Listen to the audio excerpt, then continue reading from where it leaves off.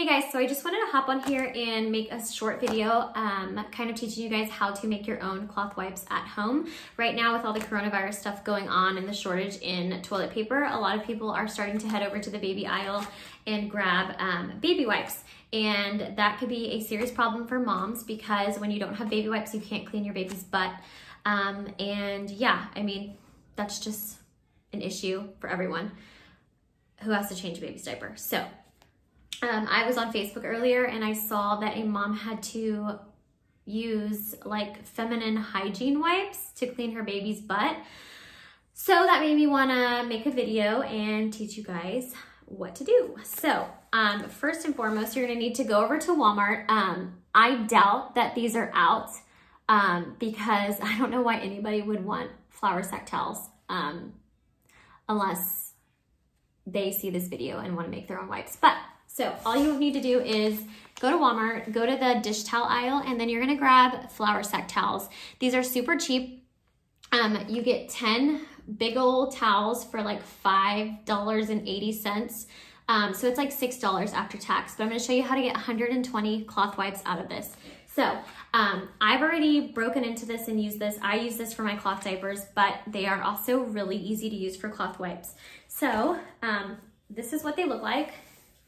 It's just a giant um, piece of cloth and you are just gonna go ahead and cut cloth wipes out of here and I'm gonna go ahead and fold it and show you kind of where you wanna cut to get the most out. So I'm going to fold this into thirds first, like so. And obviously you're gonna cut it into thirds. And then I'm gonna fold it into half, into another half. So um, you're gonna get 12 wipes that are about this size. I'm not exactly sure how big that is, but if I had to eyeball it, it's probably like six by like eight inches or something like that. Um, so you're gonna go ahead and cut, obviously. Um, and then once you get that, you're gonna get thin little pieces of flour sack towel, which are just enough to wipe your baby's butt. Um, whenever you're done, I'm gonna see if I can position this down. So these are my cloth wipes that I have at my house. Um, they're super cute, they have cats. But whenever you're done, what you wanna do is you kinda wanna fold them like, um, they call it the Z fold. So let me move this stuff out of the way so you can see better. So all you do is you lay one out like so and then you're gonna lay the other one over it so that they look like that.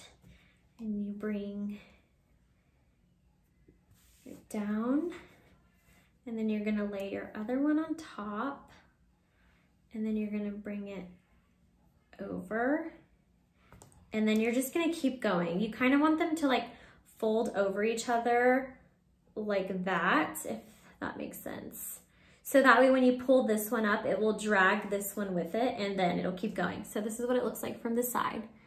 Um, so when you're done with that, you're gonna um, go ahead and make your whole stack and then you're gonna go over to your sink um, if you'd like.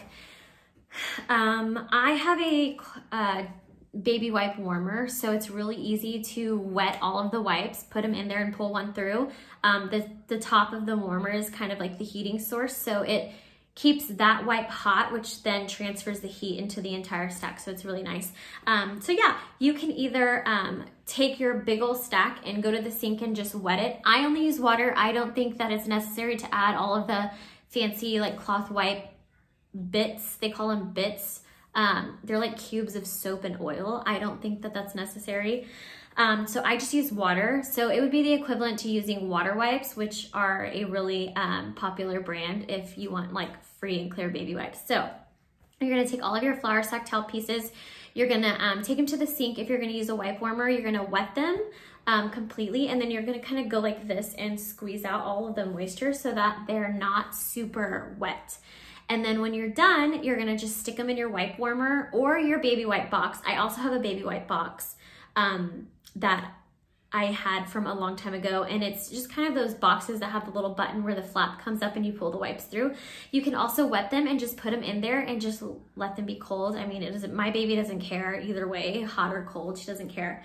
Um, so yeah, or if you want, you don't even have to wet them. You can just cut them up, lay them in a stack, and then whenever you're ready to use them, grab it, wet it with hot water, and then um, use it on your baby. So as far as the poop and pee goes, um, it's really not that big of a deal, you guys. Um, I mean, I always say if your baby has a blowout, typically you just get the baby's clothes and you throw it in the washer. And so there's baby poop already in the washer. So, I mean, it's it's not that big of a deal. If it bothers you that much, then just don't use them. I mean, I'm not really sure what else to say about that. Um, but if you have a breastfed baby and they're completely breastfed. Breastfed baby poop is water soluble, so you just throw it in the washer and it'll all kind of just magically disappear. Um, obviously, if it's like extremely solid, you can just um, wipe the baby's butt, shake it off into the toilet or into um, like a trash bag, and then um, just throw it in the washer. So pee is fine. It comes out of everything. Um, so yeah, I'm trying to think of any other tips that I could possibly have for you guys but I don't. So that's pretty much it. Like I said, they are called flour sack towels. You can get them in a pack of 10 at Walmart and they're super easy to cut up and use. And um, you get 12, yeah, 12 little sheets from um, one big um, flour sack towel. So you'll get 120 wipes. Um, you just throw them in the washer uh, when you start running low, dry them, put them back into your stack and they're ready to go in. So yeah, um, if you find yourself struggling to find baby wipes and then you also decide to try to make your own baby wipes with paper towels, but you find that there's a shortage in paper towels, you do not need to panic.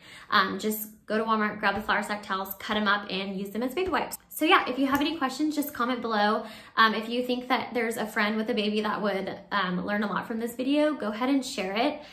Uh, yeah, let me know what you think if you do give it a try, and you never know, you might like using cloth baby wipes better and saving all the money. So yeah, I will see you next time. Bye.